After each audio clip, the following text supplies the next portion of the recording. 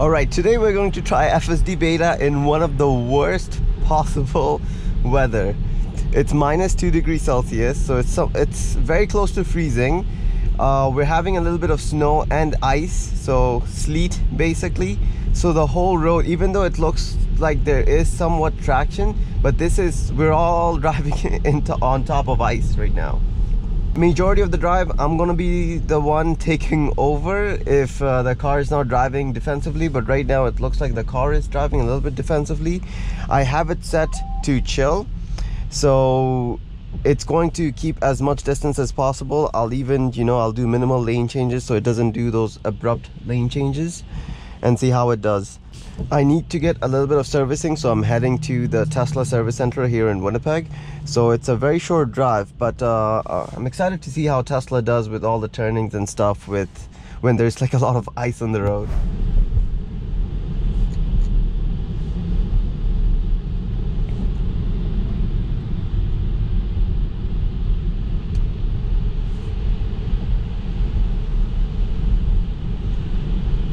at times like this I take over uh, just a little bit. I didn't really disengage FSD I just slowed it down. Uh, FSD seemed to not want to overtake that huge trailer.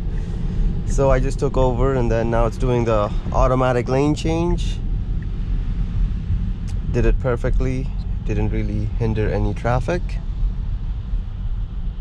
It it needs to stay on this lane because it's about to make a right turn into the street here not this street, the next one.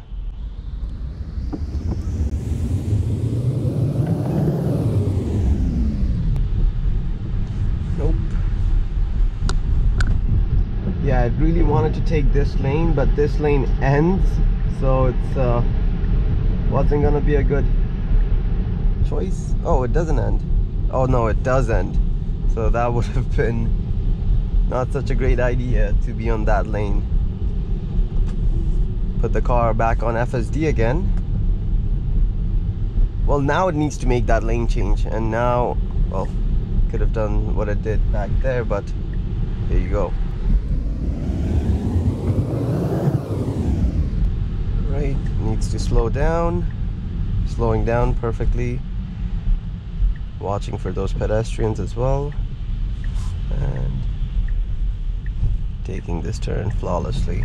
Oh not so flawlessly. I hate it when it does those hesitations. So now we got something interesting interesting coming up here. We're gonna take a left turn, but there's no traffic control sign monitoring this left turn. So we're gonna have to have someone nice to stop for us and then we can take this left turn. So I wonder if, if FSD beta is going to recognize that and then take the left turn. See? So that person took the left turn. There wasn't anything really controlling that sign. Yeah another person takes the left turn. Another person does it. I should be oh wow. Nice. FSD beta recognizes kindness. There you go.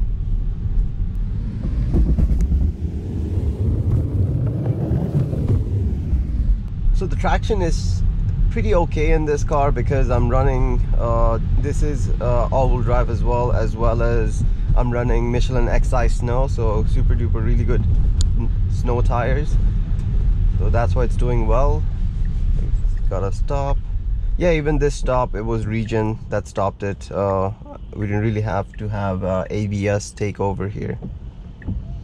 We got a stop sign that's uh, partially covered by snow so but look at that. Half FSD beta is still able to recognize the stop sign.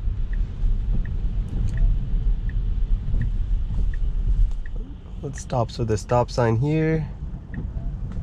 And okay. Takes it. Didn't really want to wait for that trailer here which was a good decision. That would have been a long wait. It's wanting to stick to this middle of the road. I wonder what it'll do if I do a lane change. Nope not changing lanes. It can easily follow this truck here which is doing now but I don't know why I'd want it to stay in the middle of the lane Just...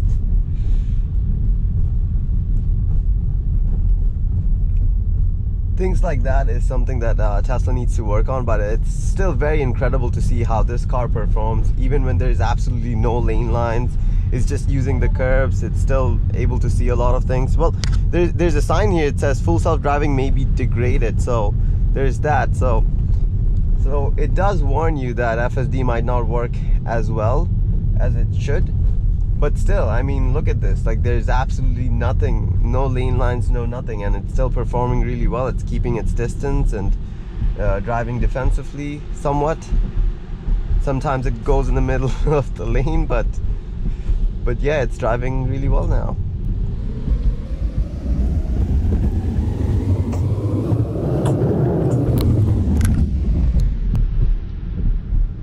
I guess uh, sometime in the future it would be nice if Tesla could integrate potholes uh, detection and then avoid pothole. For the roads here in Winnipeg that's a very very important and crucial feature that we would love to have but for now FSD beta just drives straight into those potholes and some of these you can't even can't really do anything about those.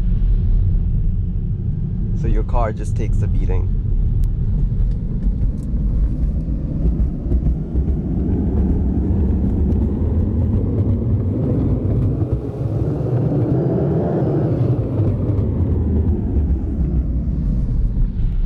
Alright, so we're about to have a right turn here.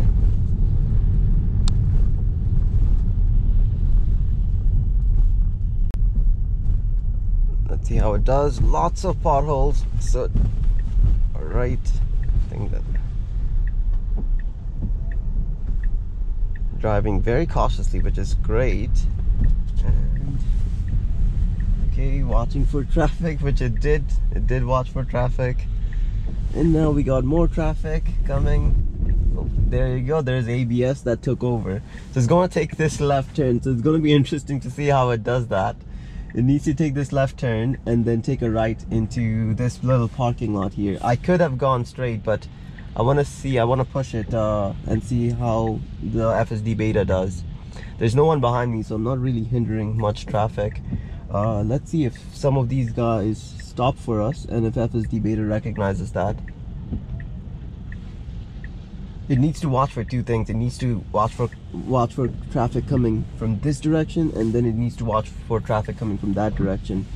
It's going to be interesting to see. Oh, it's, it's wanting to make this turn. Oh, it's still, yeah, it wanted to. Nope, I'll take over from here.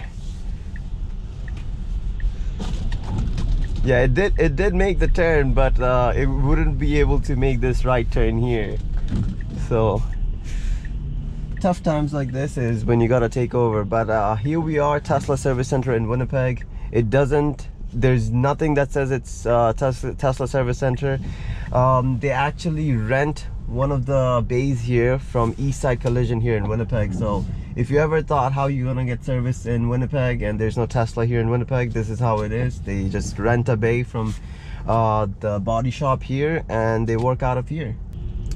And another great thing is when you're when you're kind of reversing usually because our roads are so dirty that your back camera it gets obstructed with snow and all all the slush but with the Tesla there's side cameras as well which are you can see are pretty clear which you can use to also back up as well.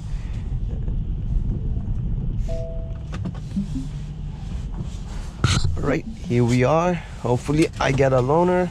I'm here for my it's tire pressures. It's saying it's really really low even though it's not I've checked it manually. So we gotta get that figured out and fixed. Well I hope you guys like this short little drive here in super dangerous conditions with FSD beta. Please smash that like button and subscribe and I'll see you guys next week